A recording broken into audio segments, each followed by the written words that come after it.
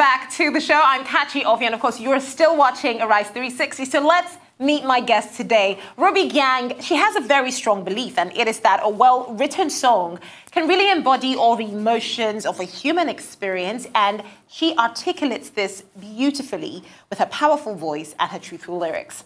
Now, after years of singing in choirs, performing with dance crews, and leading worship in church, Ruby Gyang's move from Lagos to Jos, Nigeria in 2010 was the catalyst for her growth, both as a recording artist and as a performing artist. Now, of course, she has won a collection of notable music awards as well, from Best Vocal Performance to Best Collaboration and Best Collaboration at the Niger Music Awards to the Best West African Female Artist at the AFRIMA Awards, amongst many others. Of course, we all remember her leaving Chocolate City slash Warner Music Group in 2019. And since then, Ruby has been building her own company and label, RG Entertainment and Media, under which she plans to release her next extended playlist. Of course, she is also passionate and she supports and mentors females, young artists who do not really have easy access to the entertainment industry in Nigeria and West Africa. And we've got Ruby Gyang Kaleni. That means look at me, right? My house is not so bad. I tried. No, you tried actually. People, say Kaleni. No, Kaleni. That's it. Yeah, Kaleni. I really like you know the Hausa intonation too. I find yes. it while some people would think, oh, why does she talk like that? Mm. I actually really admire it when I hear people have that little bit of the intonation. Yeah, that little, right? Yeah. Especially if they can speak English very well, then it's more, it's like sophisticated. Ah, I know, it's actually very. Anyway, thanks for joining us on Rise 360. So let's talk about, here. first of all, your music, you know, it's been a minute and everyone has been just waiting for that new Ruby Gyang fire. Do you sometimes just feel like overwhelmed with the Leave pressure? Me alone! I know, I know. Do you know? Now when I go online to just post up, hey, my rubies, what's up? Because that's what I call my fans. They're just like, yeah. auntie, song. we don't care about what you're going through. Aww. Give us music. You know, yeah. that's the, like one said, if you give us an EP, I'll forgive you. So I said, no problem. I'm working. Mm-hmm. that is bold. Yeah, they are very. You know, fans are very demanding. I know, I know. But rights. I think it just reminds me of Adele, who just put out a song exactly. six years after, yeah. and through that period, Adele went through a divorce. Wow. Adele lost a lot of weight. weight yes. You know, so you can tell that that was a really defining period for yeah. her. So what does that tell you about, you know, just that demanding spirit from fans? As an artist, how does it affect you when your fans just demand too much of you? It's it's he has his good sides and his bad sides. His good sides it can motivate you to go back in the studio, do more because you know people are excited. And it's also for me who hasn't put out music in a while, it's humbling and touching because they care. Even though I've not shown up in it for yeah. maybe two years, they still are tuned in. So that's such a blessing. The flip side of that is is that it's like, you know, I'm a human being as well. I don't only sing. Yeah. I have a life, and sometimes I want to deal with that. I want to take care of things. I'm going through my personal issues just like you do, you know. So a little, you know, compassion would be nice or yeah. sensitivity. Yeah. I, I, I would like that. But do you think leaving Chocolate City in any way contributed to that? Um, actually, no. I prior to leaving Chocolate City, I was doing this event. Um, it's called All Life, so a concert I curated. And I set it up because artists like me that do the kind of music I do, mm-hmm. it's not often we get called to nice, really dope shows. You know, mm-hmm. it's once in a while. So I said, I want to create that platform for those artists. And I also want to make sure that our fans have that opportunity to come and watch us. So I did that back to back for a year and a half. 2018 to 2019, I was burned out. Okay. but prior to then, I'd been wanting to go solo for a while. You know, set up my own company, inspired by Beyonce, Madonna, yeah. who set up their own things and saying, you know what, I want to take charge of my career. So transitioning from artist to business has been a process. I've had to reorient my mind, learn about that. business. It takes a while. And I said, you know what, for the first time, I'm on my own timetable.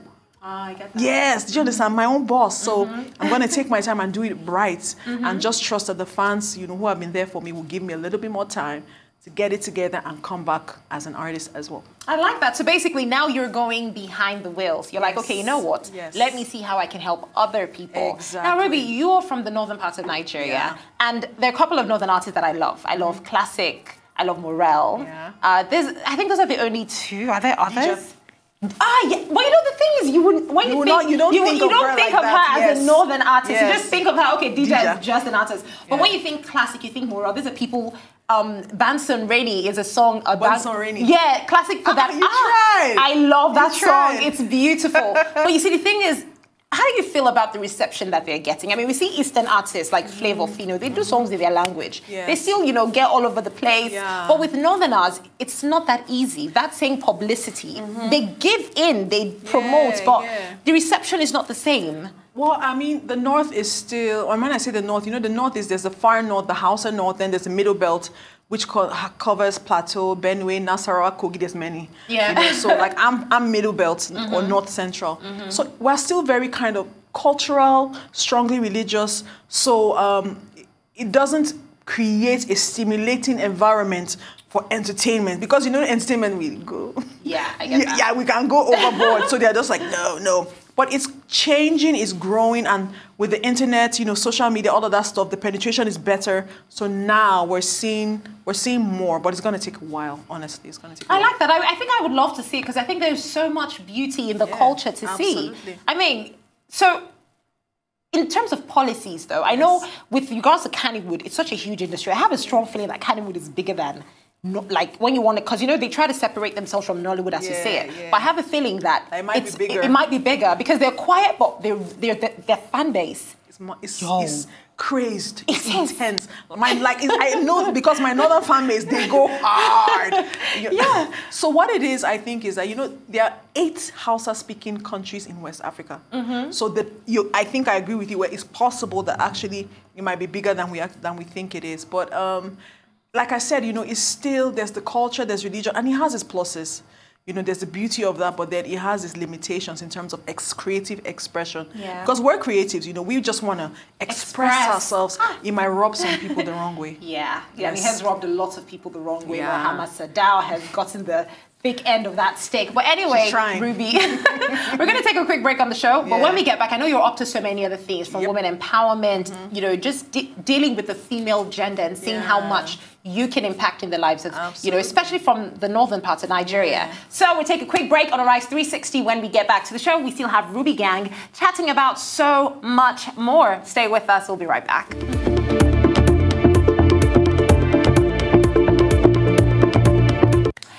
Welcome back to the show. You are still watching Arise 360, and my name is Kachi Offiah, and I've still got Ruby Gyang with me on the show. So we've spoken about your music. Yep, yep. Let's talk about other things you're up to. You know, there was a phrase you used earlier today because this is something that you're passionate about: contraceptives, Yeah. uh, you know, family planning, Yeah. especially for women in the north. And then you said something demystifying contraceptives, so there is some type of mystery to it.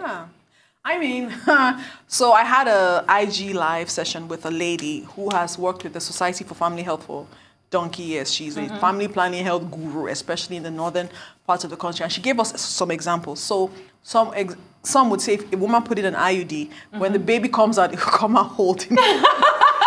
How funny that is? But I heard that before as a young girl. That's one. Another one is that if you if you're using an IUD and every time, every month you're committing abortion because Yeah. if you're if you're making love with your husband or your partner, mm-hmm. you're not allowing, so you're committing abortion Every time. Yeah, So it's killing the baby. Yes, abo- like and that she said these are all like myths that people actually till believe. date. Till Okay. date, then of course there's one of you will gain weight, and her. Oh, I heard that one. I've heard that one. Yes. Now her point is some people, some of these um, contraceptives, they increase your appetite. Mm-hmm. So some women will just start chowing.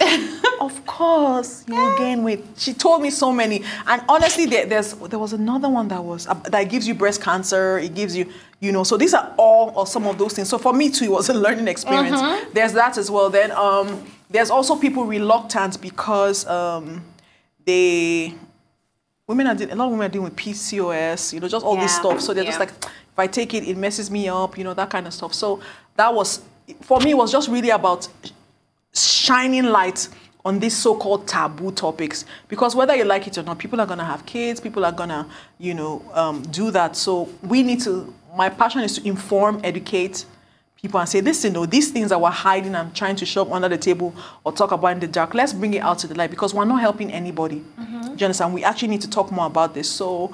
Um, that is that is kind of what I'm That's on. interesting. Um, particularly in the north, because we're very cultural and still Yes. religious. Um, there's a lot of stuff that is not spoken about openly, Mm-hmm. and you know when things are shrouded in mystery, there's chance for misinformation. Yeah. Ignorance thrives. So I'm just trying to do my little bit in saying, listen, let's bring this out in the open, Mm-hmm. and let's talk about it, and let's give people the tools and the information they need you know, to just help them live better lives. You know, it's interesting that you'd mention this in culture because I remember an incident in New York in 2019. Yeah. You know, I was at a seminar, Bill Gates was there, mm. Aliko Dangote was there.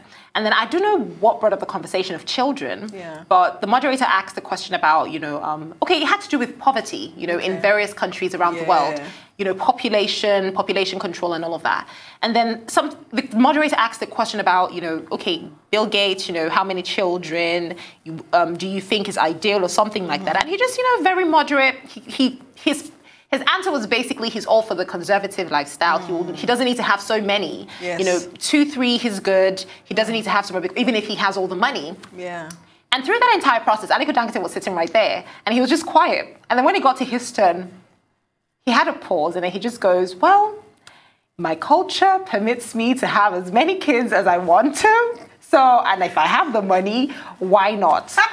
Before the laughter burst out, there was this death silence like, what? Did that really just happen on this stage? Yes. So it just goes to show that it's not a class thing, it's a No, no, cultural culture- thing. so how do you because you would have said, oh, maybe maybe they just don't know better. They do not. They don't have Yeah, exposure. They don't know.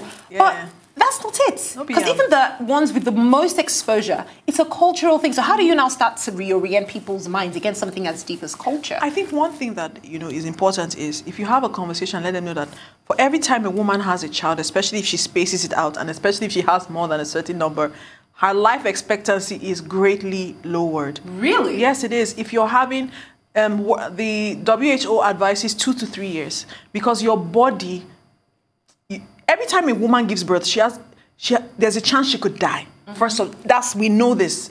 So already, if you're putting her every time she goes through it, every organ in her body is drained. So if she doesn't get to rest and heal, do you understand? And she goes next year and has another one, that healing already she's in a lower heart. Just think of energy mm-hmm. is reduced. Then she has another one is reduced. Then she has another one. So it just doesn't make sense. Then how do you want to take care of the children? How do you want to take care of yourself? Yeah. So if we uh, if if we're able to, and that's what we want to do, you know, because in the north the influencers are men. Mm-hmm. So if you're able to tell them, listen, oh, every time your wife has a child, like you're really reducing her expectancy, and if she's dead, who's going to take care of your kids? Do you understand? So mm-hmm. those are those things, but it's really just a lot of. Like I said, there's myths and misconceptions, and Yeah, just a lot there of information that a lot of people don't have and don't understand, Mm-hmm. and um, that's what we're trying to do. Interesting. Now, Ruby, this week is a very significant one for a lot of Nigerians because this week, a year ago, it was. I, I, I mean, my Snapchat keeps reminding me of you know moments at the you know protest at the Yeah, Lekki yeah, Toll Gate, yeah. pictures I took, and all of that. Of, co- of, of course, before you know what happened on the twentieth Yeah, took place, yeah. and there's so many conversations that are being had, but I want us to take this from a, an empowerment perspective. One of the major goals of the EndSARS movement was to end police brutality. Yeah. And insecurity is a big issue, but it affects women in ways that we cannot Worse. even imagine. Yeah, so you're also trying to shed light on that as well. Mm-hmm. So tell us some more about that. I mean, if there's anyone that always suffers when there's some kind of instability or, or um, issue like that is women and children. Yeah. You know, and it's it's really, for me, it's now.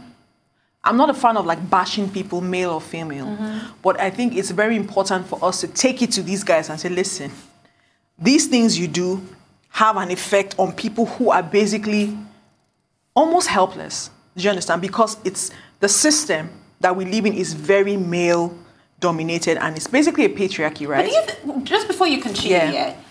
do you think it is as a result of is it is it is it because of choice? Like, do you think women just choose to not say anything, or maybe they just do not have the platforms? Because if you think 2021 and how lots of women are rising up to do great things, Yeah. can we still say that it is male dominated? Can we still accept that? Hundred percent. Hmm. It still very much is Mm-hmm. because a lot of when you think of one one key thing that has to do with power is economic economic empowerment. Yeah. We know that there's still a huge disparity, Disparity, between. Do you understand? So as long as that happens, you know, there's still going to be that problem. You know, mm-hmm. so you have women staying in situations where they have to stay. Yeah, do that's- you get what I'm that's saying? reality. You know, so even the security is not even just police brutality, but even in their homes. You know, um, domestic violence, all of sexual that. violence. Do you get what I'm saying? So you're not able to just get up, oh, or you're thinking, okay, if I leave, how will I take care of my kids? Who's going to pay fees? Who's going to pay rent? Who's going to feed them? You know, and this is what talking. You know, we are privileged. Mm-hmm. We've gone to school. We have We, you know, we have jobs. You know, we can make money. The greater percentage of women in this country don't have that. You know, so it's easy. It's easy for us to forget that and think that just us in our little mm-hmm. caucus here. That's how Nigeria is. It's not. It's not that.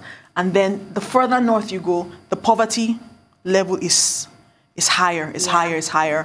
Do you understand what I'm saying? Then you add throwing culture, throwing religion that tells you, listen, you're second class. Do you understand? Your do you get what Yeah. I'm saying? So it really it really has to do with talking about i think the first step is talking about it you know I, I think it's protesting i think it's having these conversations you know being on platforms like this to talk about these issues but um but it's still a thing Yeah, it is. still So a thing. I've always, to be honest, whenever Yeah. I see posts like that, just before we end this conversation, Yeah. a woman coming out to say, "Oh, you see, I had to stay because," or I always ask myself, "What can I do?" Because Ruby, we do Blackout Tuesdays. We do.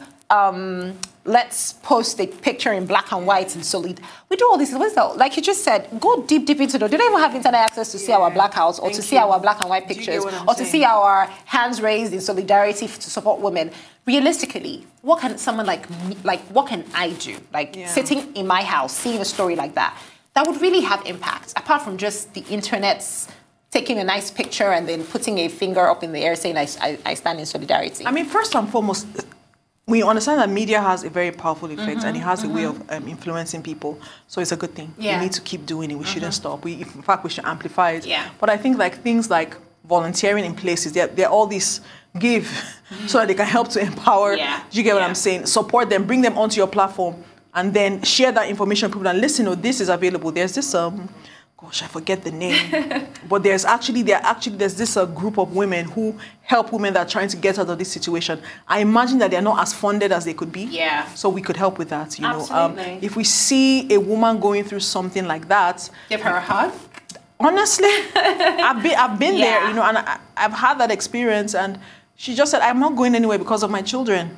Hmm. What could I say, you know? But I said, "I'm here to talk. You know, I'm here to be here for Yeah. you. I mean, whatever it is, you know, I'm here. f- even if it's just a shoulder to cry on or someone to talk to, I'm here for that." And encouraging and listen, go out and get that money, girl. Yes, yes, go out and get that money mm-hmm. because once you can, you are able to make more. You have money gives you choices, Yeah. options. Ooh, preach. Yes, it does. It gives you, you can just say, I ain't doing this no yes, more. you know, but so I think that one very important thing is just finding out, look around, ask around. In most states, you have there's some kind of home or shelter Yeah. support. Go All right. volunteer, you know, Okay. go spread the word about it. All right, And, that- well, and then yeah. don't judge women that are in that situation.